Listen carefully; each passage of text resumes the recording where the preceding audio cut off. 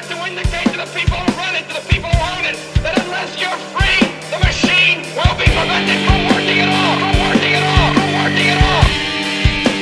Don't lay down and die because a new world order, the business of the day for the elite when they're coming to take your freedoms away. We do not expect harmful levels of radiation to reach the West Coast, Hawaii, Alaska, or U.S. territories in the Pacific. That is the judgment of our Nuclear Regulatory Commission and many other experts. Furthermore, the Centers for Disease Control and Prevention and public health experts do not recommend that people in the United States take precautionary measures beyond staying informed. And going forward, we will continue to keep the American people fully updated because I believe that you must know what I know as president.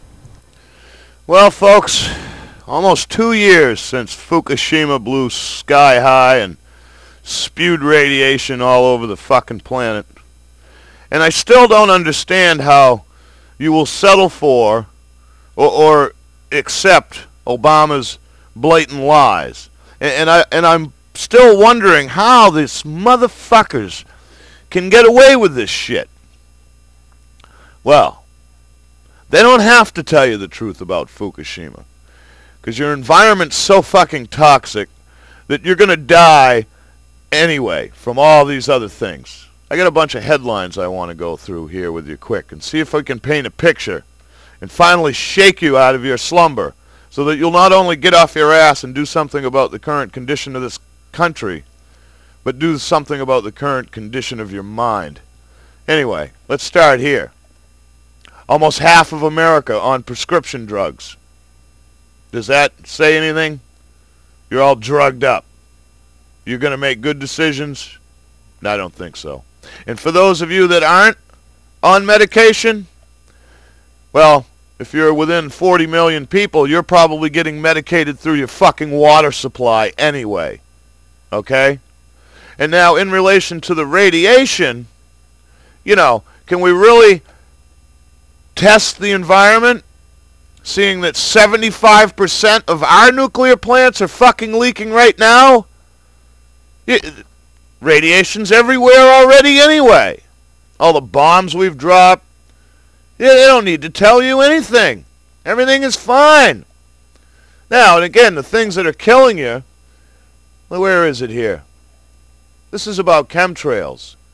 Barium is in is an earth mineral, and as numerous researchers have reported, it is known to be toxic to all mammals. Now it is used to poison us. It's being sprayed in the air. Do some research. You're getting poisoned all over the place. Okay, and then we talk about our food. USDA approved Monsanto's alfalfa despite warnings of new pathogen discovered in genetically engineered crops.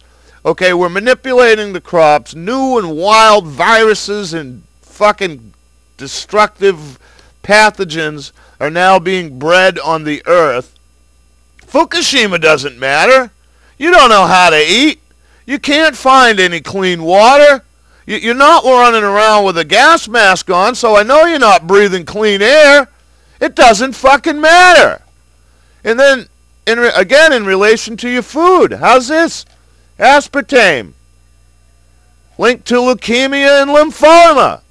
So when you do, your children do get leukemia. They don't have to tell you it was from Fukushima because you let the fat little bastards drink diet soda as much as they wanted. When is it enough, people? When is it enough?